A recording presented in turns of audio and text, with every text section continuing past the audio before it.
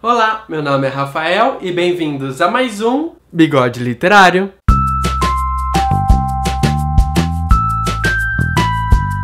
E hoje eu vim gravar pra vocês o top 5 dos meus livros mais esquecidos da estante. Todos os livros que eu comprei sem a pretensão de ler tão rapidamente assim quanto os que eu mais quero, os mais desejados. E antes de começar, se vocês querem que eu faça o top 5 livros mais desejados, é só deixar aí nos comentários que eu faço, ok? Então vamos começar. Muita gente vai querer ah, me esganar por isso, mas um dos livros é a seleção. Eu comprei todos tenho contos da seleção, mas por algum motivo eu não quero ler tão rápido assim. Me sinto uma pessoa mais feliz por ter completado, né, toda a trilogia, ter todos os livros, vocês sabem que eu sou assim, vocês sabem. Posso ler em breve? Posso ler muito em breve, posso começar agora, mas eu acho que não vai ser, não. Então a seleção tá no quinto lugar do top 5. E o quarto livro é O Universo contra Alex Woods. Esse livro aqui eu ganhei lá no YouPix, brinde da editora Roku pro nosso painel. E eu adoro essa capa, não conheço a sinopse. Mm-hmm.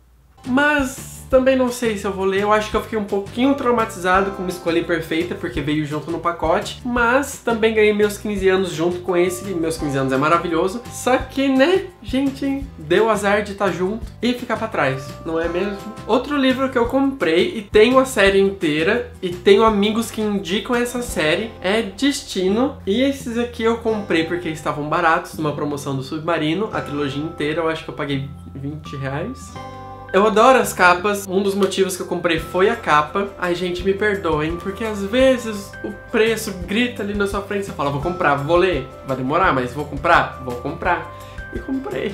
E em segundo lugar, é, é um livro que eu adoraria ler, mas é um gênero que eu não gosto tanto, que é biografia, quase que eu falei bibliografia. Queria mandar aqui um beijo pra Ana e pro Júnior. E eu comprei assim, com a intenção de ler. Não achei que fosse tão grande. E eu comprei faz muito tempo. Que é Steve Jobs, a biografia por Walter Isaacson. Gente, esse livro aqui, ele é gigante. E a letra é tipo Arial 2. Mas eu adoro Steve Jobs, adoro o jeito de pensar dele.